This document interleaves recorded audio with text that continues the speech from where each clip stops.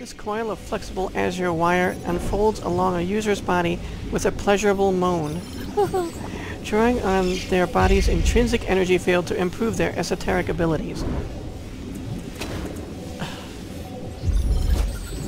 Uh, Iaksu, what are you doing with these things, you pervert? Alright, let's check out this thing. Let's go. Let's go. An odd device sits in the middle of the room. It almost looks like a capsule of some sort, but it is covered with ducts and ports and vents, and a strange blue light emanates from it. Cables run from its base throughout the room, attached to various devices. It vibrates with a mild, occasionally stuttering pulse, and when it falters, the field that protects the interior of the shanty briefly fades. Examine.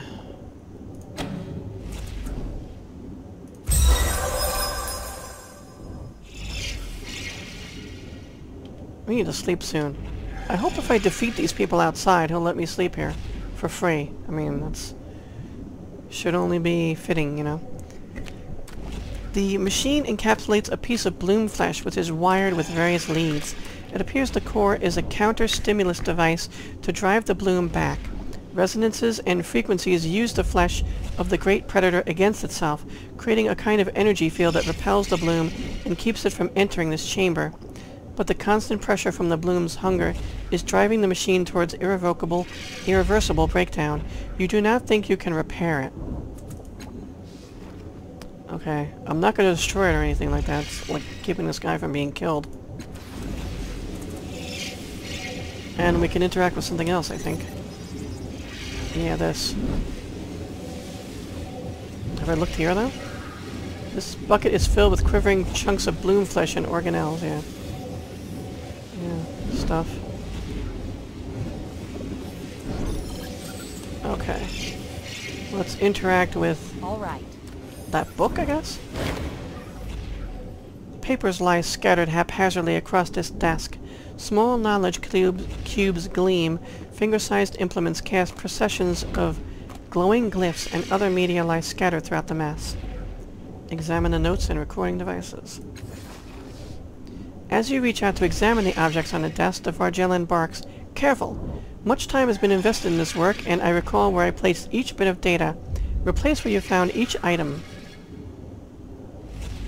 Okay. We didn't say we couldn't examine it, right? Continue.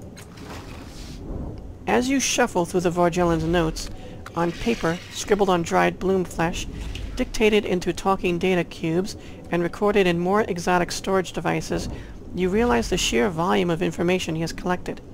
It is a trove of arcane and technical observations of the bloom, loosely categorized into a number of categories. Behavior, self-others, communication, self-others, influences, influenced by, moths, how to open, how to close, how to divert, history, unrecorded, recorded, observations, conclusions. Every data point leads to a reference in another document. Some of these links are simply notes guessing where the data is located, based on the Varjellen's recollection. If you knew where to start analyzing his enormous collection of knowledge, you might be able to get somewhere, but the volume of information is simply staggering. A team of Aeon priests couldn't process this much data in a year. For a lone scholar, it would probably take ten years or more. The Varjellen has stopped glancing over as you shuffle through his notes. Instead, he is staring at you, waiting and watching. It becomes difficult to concentrate under that steady gaze, so you put the notes down and step away from the table.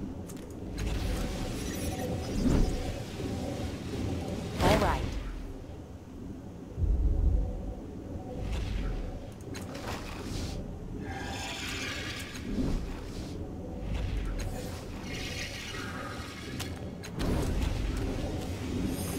Can I ask about this?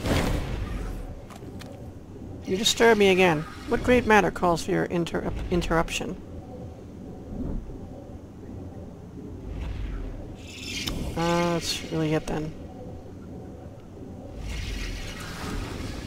Indeed. Okay, um... buy some stuff?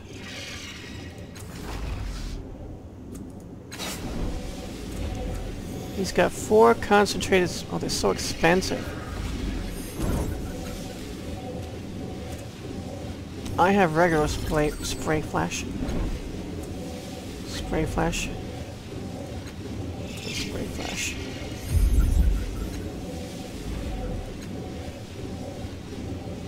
Let's get, um, one...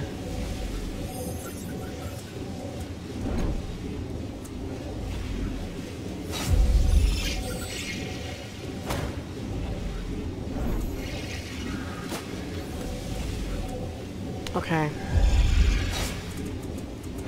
Gonna save and we'll confront these guys outside. Just by now we're up to like 89 we're up to like 92 or something now.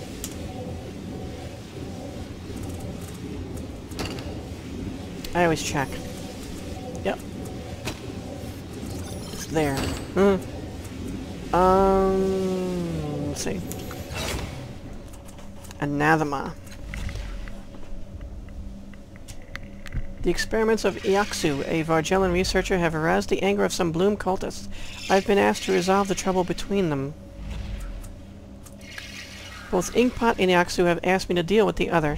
Inkpot wants me to stop Iaksu's experiments, and Iaksu wants me to drive Inkpot and the cultists away. If I can't settle this one way or another, I, it will probably turn to violence between them.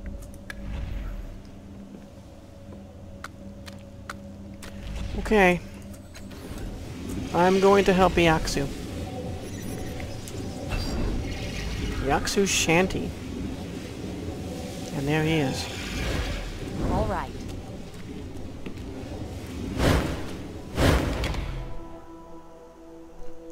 Now there's only three of them. We'll see how we can do. I know we're not completely at full, but I really don't have a lot of money to be resting for like, I don't know how much a piece. It was expensive.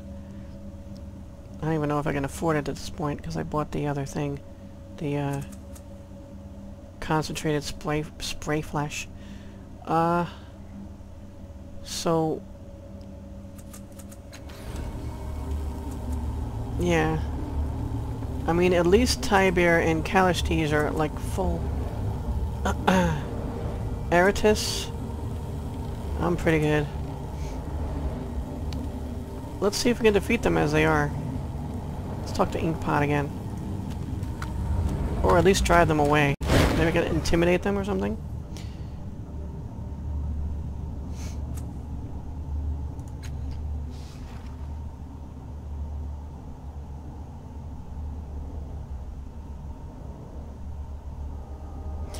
If the bloom is really a god, why does it need human help at all?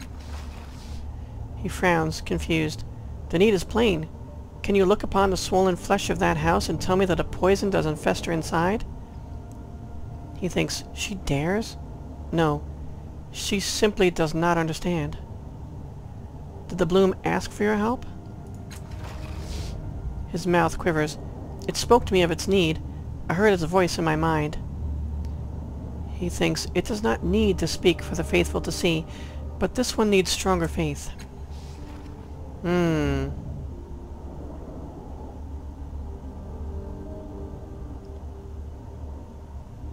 I forgot, what am I higher in? I think intimidation or something? I think I'm better in intimidation? I think I'm completely untrained in deception, I'm not sure. So your god is too weak and important to deal with Iaksu itself? Is that what you're saying? Oh my. Can I quit out? Oh, I can quit out. How about you're wrong? The bloom spoke to me about Iaksu. Doesn't want your help at all. 5%. I didn't realize I could back out of this.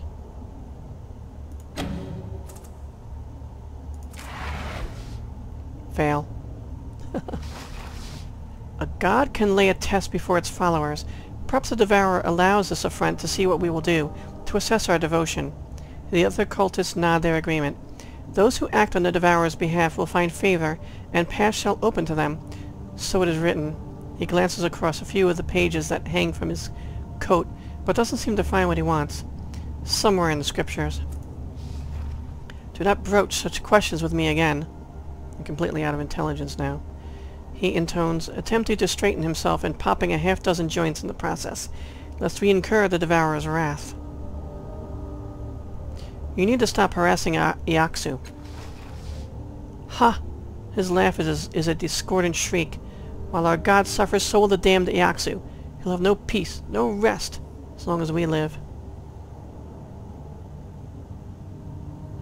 I don't have money, and intimidation will not work. Um... So I guess I'll have to kill you then. I'll remember that. You draw your weapon and advance toward Inkpot. Eyes wide and bulging, he scrambles back, shrieking, his bravado suddenly forgotten. His robes are wet with piss. Stay back, blasphemer! He shrieks, scrambling away. The Devourer won't tolerate my death, but I will remember this sacrilege. With that, he and his followers flee into the gloom. As, it, as they depart, you hear harsh whispers all around you, the wrathful voices of the bloom. After a few moments, they fade. Oh boy, is it gonna, like, attack me every once in a while now? He thinks, let her be a fool. The bloom will consume her. Red tide raised a moderate amount. Why? I mean, wow. Not why. Okay, please let me rest in there.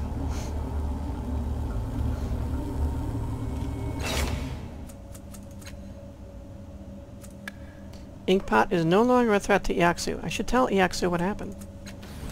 Not a problem. Yes. There's some price to pay for what uh, we did.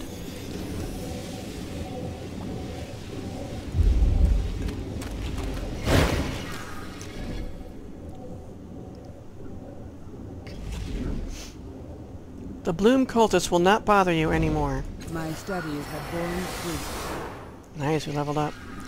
Doubts rise within. His left eye goggles at you momentarily. Extraordinary claims demand proof.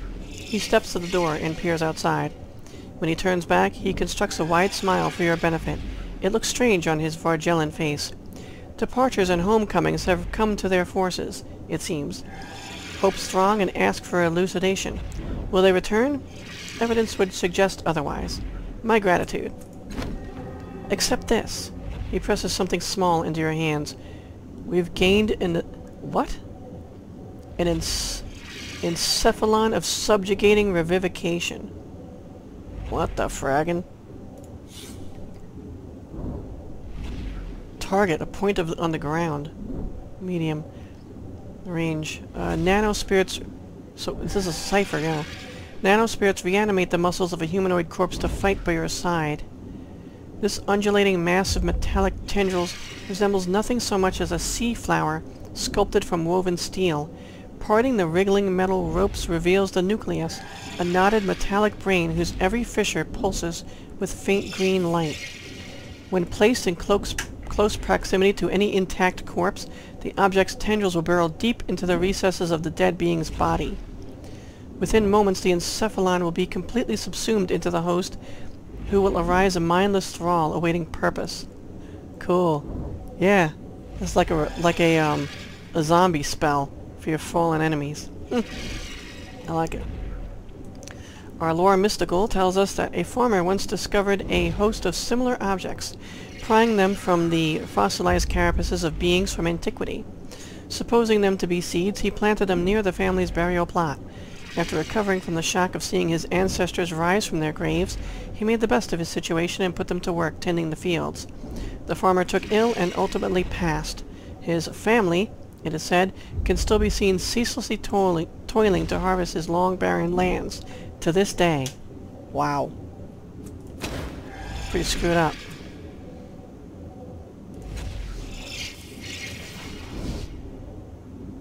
Your service and protection against the Bloom's worshippers calls for an exchange of knowledge. Better still, bide. He steps over to his workbench and his hands disappear in a blur of movement. Take this. He presses a long, thin strip of metal into your hand, inlaid with tiny circuits and emitting a light that makes your eyes hurt. As it sits on your palm, do you find something else? No? The inks burn into your skin and the metal dissolves. Worry not. A function of the device. Slide your your hand into any exposed joint. Let yourself be impaled within. The ink will call these words to mind. He growls strange syllables. Your blood carries the overload mechanism now. It transfers energy via the Torvis mechanism. What?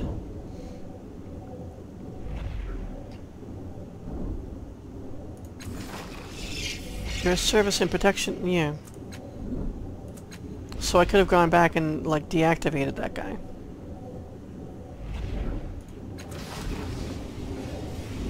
I wish we could sleep here. Damn it. I need another free sleeping place. Badly. I mean, we're pretty much okay, otherwise I just have no intellect.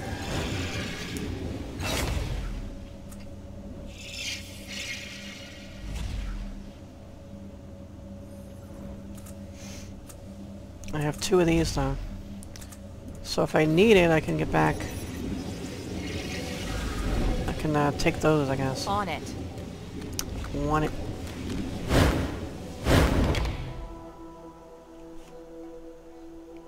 Well, so I've helped him out.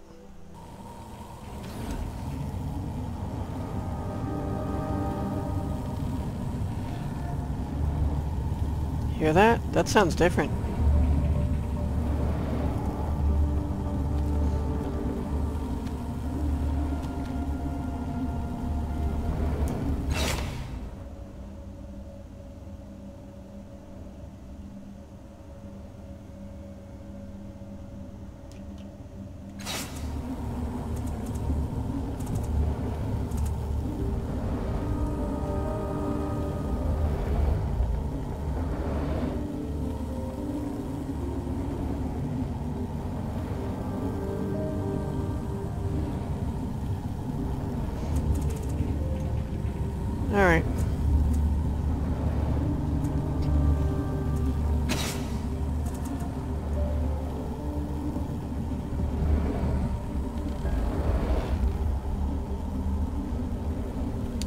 Iaksu isn't here.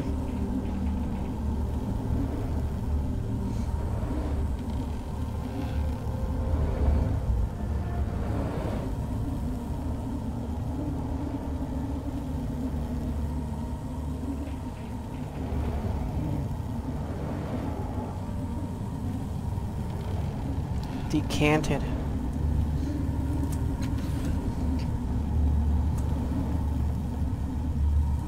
Let's go. Let's go talk to that decanted.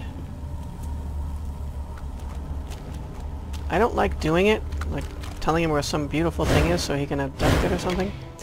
But, uh, maybe we'll get a reward of some kind.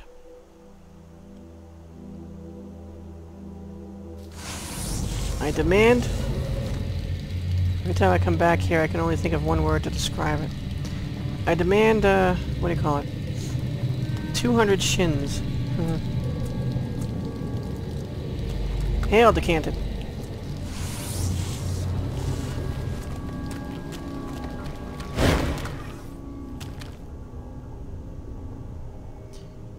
The creature's voice remains flat and expressionless. Greetings. In the vast interior, Sundermun spoke of meeting a beautiful woman. She might be a suitable candidate for you. I'll remember that. Agents can investigate leads you provide, for which you will receive a fee. Until such time as a more definite location has been established, no fee is forthcoming.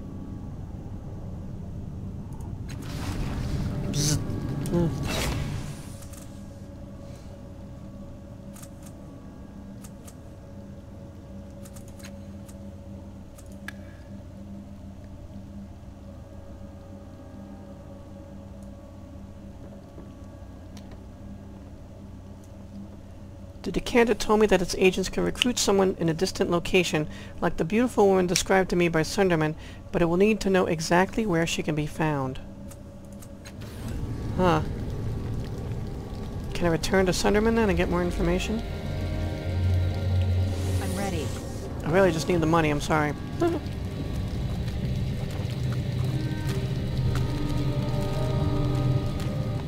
mean, really, all this stuff we've been finding, I, I don't have money to buy it.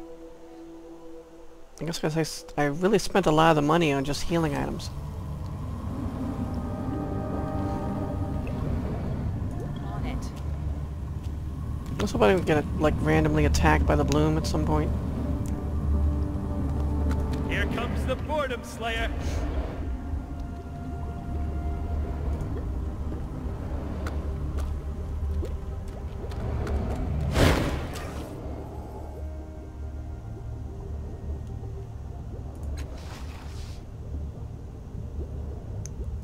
Where did you meet the beautiful woman from your story?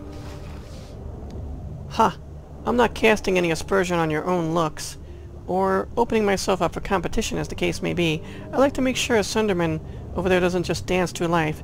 He's got to experience some things on his own, you know? I'm gonna give it a try anyway. Actually, wait a second.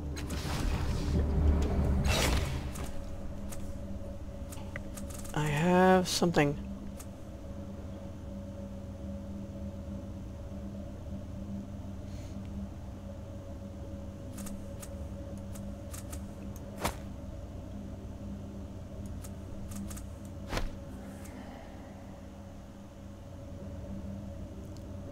Plus one training level in that skill while active.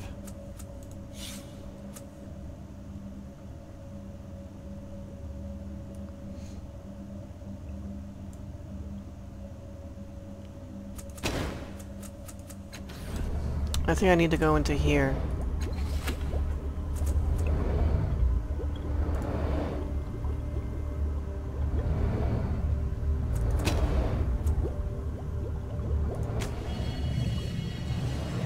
What is it again? Wait.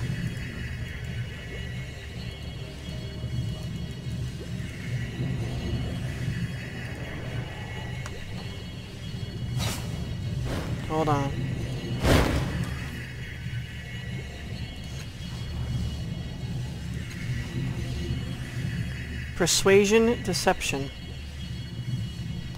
Oh, I think I'm okay in persuasion, aren't I?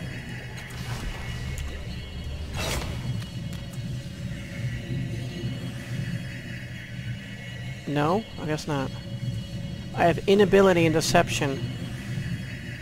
Uh, no wonder that didn't work before.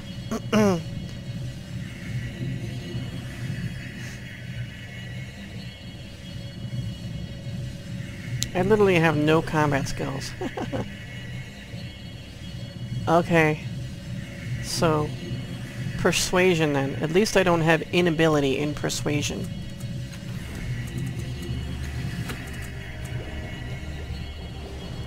Let's see if we can do this thing. Persuasion.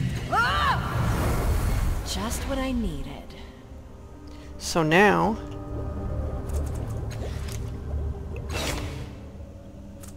persuasion. Of course I have no points to put extra, but... For, uh, what... you call it? Effort, yeah. I'm not planning to woo her, I just want to know the rest of your story. Oh, I can still only get 15%. Oh well.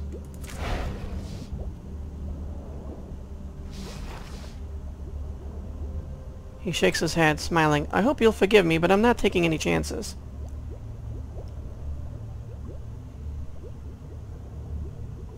He thinks she seems too eager. No, best to keep that information to myself.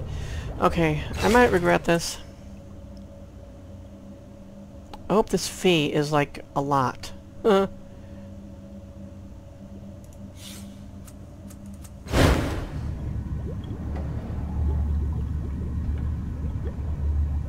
Myself. Yes?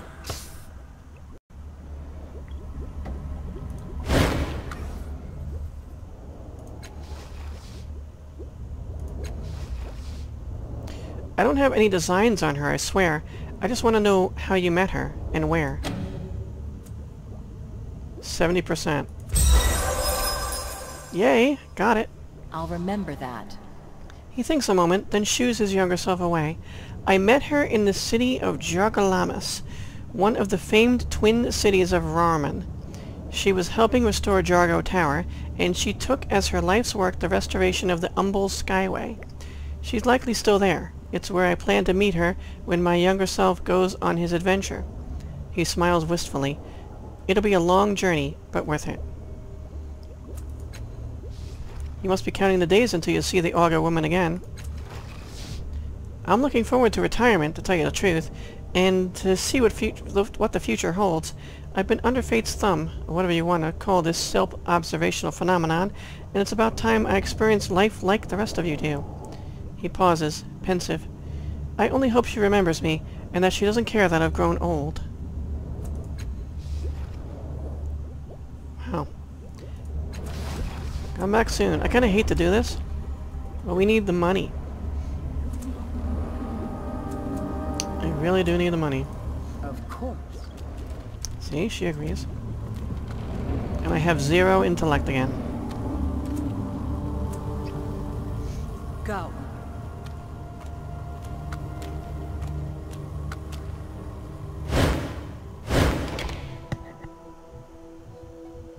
So now that we know exact city where she is, hopefully that's enough.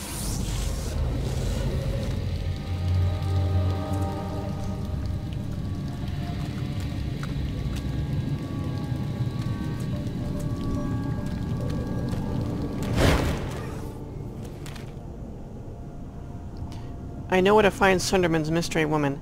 The city of Jargalamas in the Steadfast. She's doing restoration work on the Umbo Skyway. I'll remember that. That is a known place, some distance away.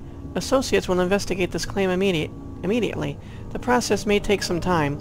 No reward is forthcoming until con confirmation arrives. is for the information.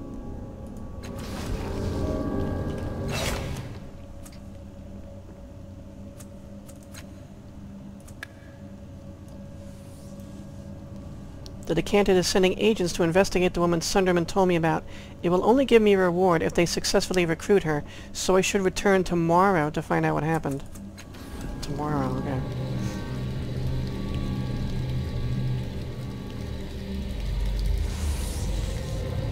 All right. Okay, so back again, further.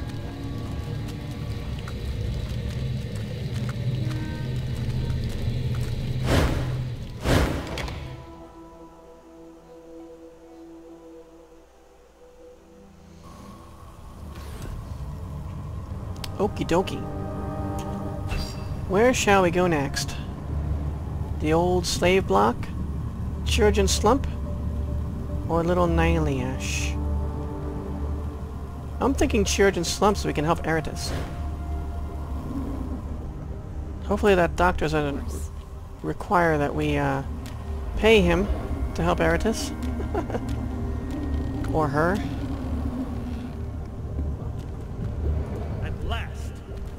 At last.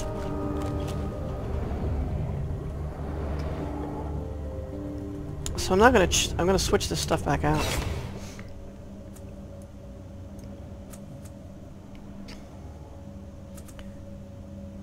What did I have?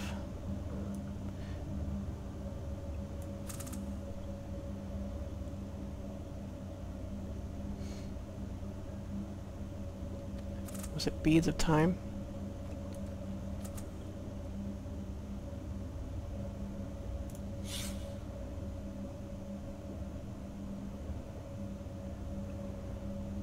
Maybe I had the shadow ring on. I don't even remember. Artifact.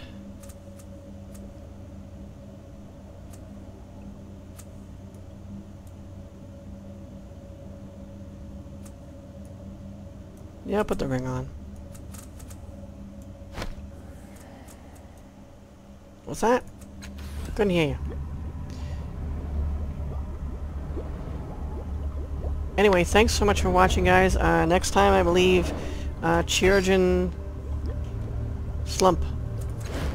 See you next time, guys, and endure. In enduring, grow strong.